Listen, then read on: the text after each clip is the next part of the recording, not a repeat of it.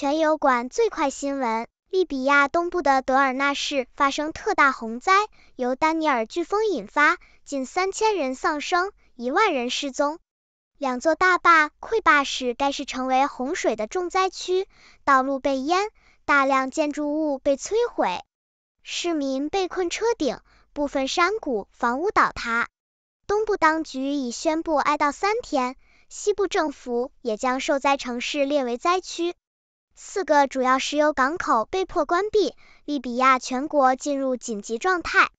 国际社会和联合国已表示将提供援助，卡塔尔政府也向受灾地区提供援助。这次洪灾再次凸显出利比亚社会基础设施的脆弱以及政治分裂对国家灾害管理的挑战。订阅新闻极速递，最先知晓天下事。